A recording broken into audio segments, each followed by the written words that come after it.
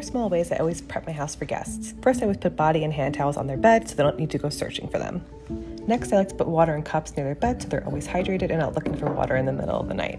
Next, I put Raid Essentials Light Trap in the bedroom, bathroom, kitchen just to attract any pesky bugs that might have snuck into the house. Lastly, some essentials like toothpaste and toothbrushes in the bathroom.